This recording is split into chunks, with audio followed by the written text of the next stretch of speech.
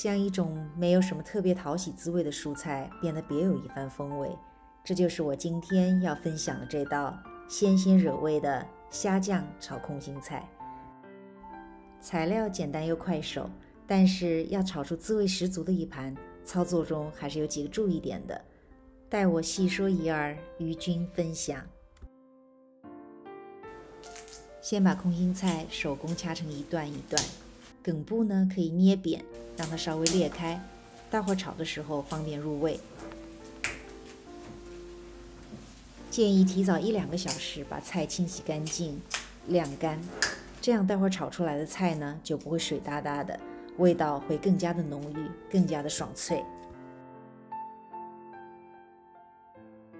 把调味料准备好，五颗蒜瓣，四颗呢切成小粒，一颗切片留在最后用。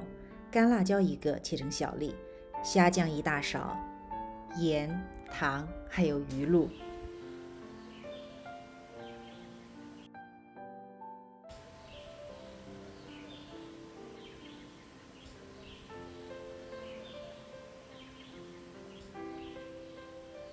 把铸铁锅烧热。然后放入三大勺油，紧接着放入蒜末、干辣椒碎，再加入一大勺的虾酱，稍微炒一下，会有点飞溅的油，要注意防护一下。蒜与虾酱遇到热油，香气很快就散发出来。立刻加入空心菜翻炒，一定要注意这几样呢都要快速的加入，避免蒜与虾酱炒糊。接下来继续翻炒，让虾酱的滋味包裹在空心菜上。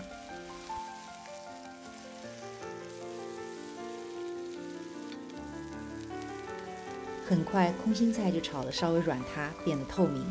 这个时候加入半小勺盐，翻炒均匀。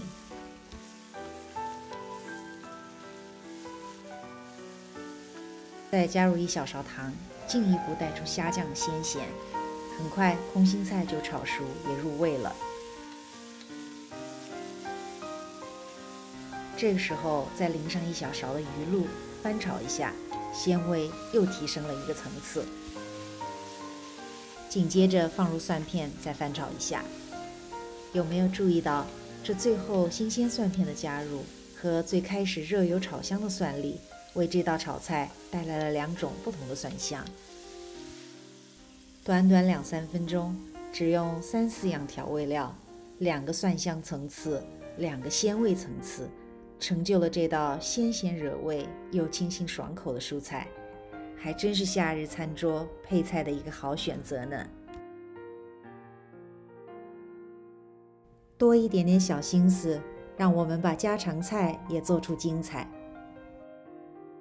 我是兰香，愿与你分享生活中美的点点滴滴。